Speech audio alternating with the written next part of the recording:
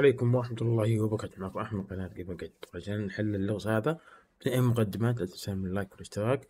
طبعا حل اللغز لازم تحط الأول عندك الشايب أو الرجال بعدين مكان فاضي بعدين تحط البنت اللي هي العملة الذهبية بعدين مكان فاضي بعدين علامة الوردة. إذا حطيت المنطقة هذه راح تنتهي من اللغز الأول. ندخل في اللغز الثاني.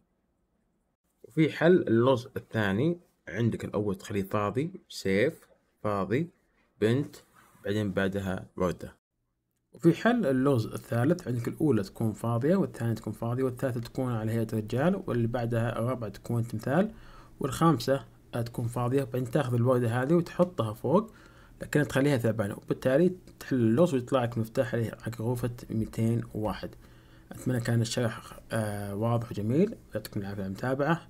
لا تنسوا من اللايك والاشتراك ونشوفكم الله في المقطع القادم. سلام